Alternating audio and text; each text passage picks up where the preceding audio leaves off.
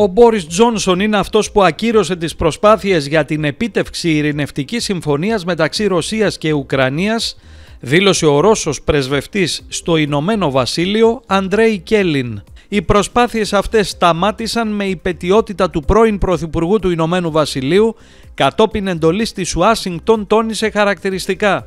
Ο Τζόνσον μπλόκαρε τις ειρηνευτικές προσπάθειες με την ευλογία της Ουάσιγκτον, προφανώς επειδή δεν μπορούσε να το κάνει μόνος του έφτασε εκεί και το έγγραφο το οποίο είχε ήδη μονογραφεί από τον επικεφαλής της Ουκρανικής Αντιπροσωπείας David Αραχαμία.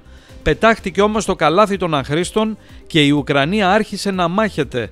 Αυτές είναι οι συνέπειες αυτού που έκανε ο πρώην Πρωθυπουργός του Ηνωμένου Βασιλείου, είπε ο Κελίν σε συνέντευξή του στον τουρκικό τηλεοπτικό σταθμό TRT World.